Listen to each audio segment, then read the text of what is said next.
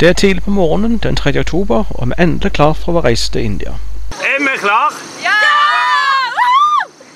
Så er vi alt på flyet på vei til India, og vi får noen stemningsbilder fra turen. Hvordan går det med dere? Det går bra. Det er bra? Jeg står i korsvei. Har du sovet, eller? Nei, ingenting. Ennå mye igjen av turen. Ikke tid til å sove. Du bare gamer. Jeg bare gamer så fint. Så det er nesten ingenting. Og går på flyet. Og plager de. Hvordan går det? Det går fint. Koselig, står det. Se, der er vi nå. Eh, går det bra? Så ja, det går veldig bra. Og nå skal vi til Ny Delhi første dagen, og så reiser vi med tog til Pushka, tror jeg, eller Ajmer dagen etterpå. Og hvor lenge tar toget? Åtte timer, tror jeg. Seks eller åtte timer. Å, Jesus.